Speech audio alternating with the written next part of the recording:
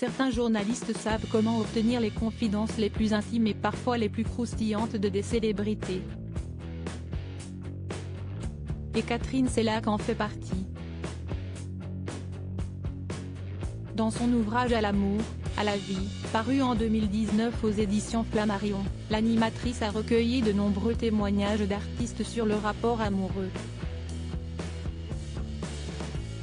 Notamment celui de la comédienne Sandrine Bonner. Ce fut l'occasion pour l'actrice de revenir sur le drame terrible qu'elle a vécu, alors victime de violences conjugales il y a 20 ans, de la part d'un homme avec qui elle a partagé sa vie pendant 4 ans. Mais aussi des histoires plus légères liées à d'autres relations de l'actrice, comme lors de sa première expérience intime. De cette première expérience intime, qui remonte à avant sa rencontre avec Piala, qui l'a fait tourner dans À nos amours, elle écrit un ratage complet. J'avais 14 ans, il en avait 20, révèle Sandrine Bonner. C'était un type qui faisait du porte-à-porte pour la SNCF. Quand il a sonné chez nous, ma mère, qui était quelqu'un de très atypique, lui a dit « Oh mais vous êtes beau garçon, entrez, je vais vous présenter mes filles », partage l'actrice et mère de deux filles.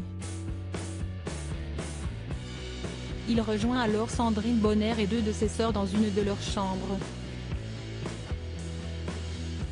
Il est venu avec nous et on a vite sympathisé, apprend-on. Ce n'était franchement pas terrible puis, c'est de la garde contact et un jour, elle quitte sa banlieue pour aller le voir à Paris, chez lui.